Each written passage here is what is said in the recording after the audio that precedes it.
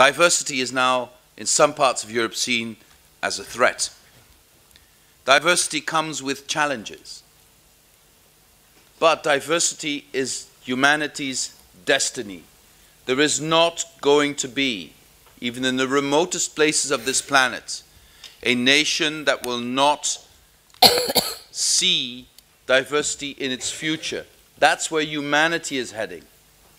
And those politicians trying to sell to their electorates a society that is exclusively composed of people from one culture are trying to portray a future based on a past that never existed. Therefore, that future will never be. Europe will be diverse. Like all other parts of the world, we be diverse. The only question is, how do we deal with that diversity? And my answer to that is by ensuring that our values determine how we deal with diversity and not giving up our values to refuse diversity.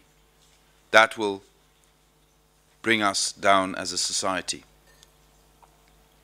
If we don't get this right, I truly believe Europe will not remain the Europe we've built.